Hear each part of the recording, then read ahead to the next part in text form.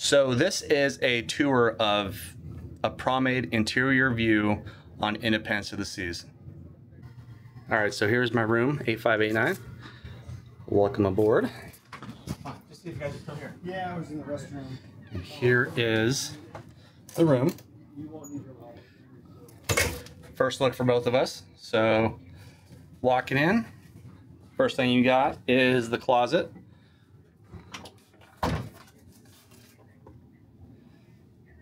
There is the life jackets.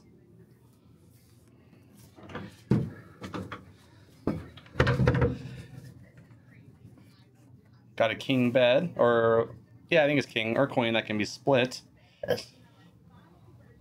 with the lights. Oops. Have a little TV with some drawers.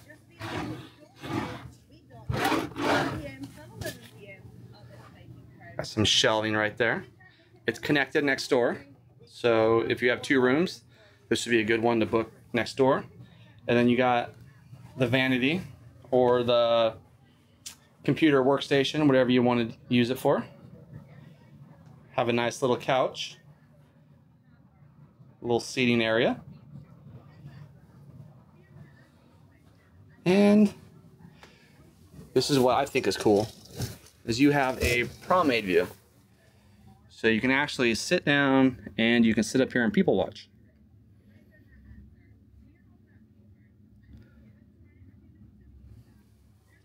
All right, if you're wondering what outlets they have, they have the European outlet,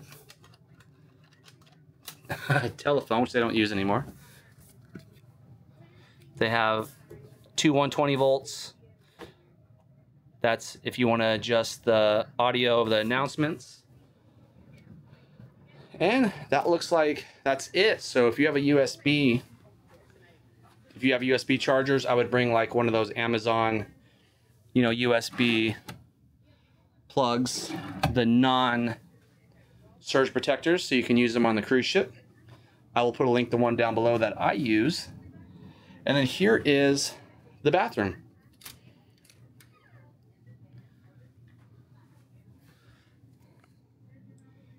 There is the vanity. Then the little toilet.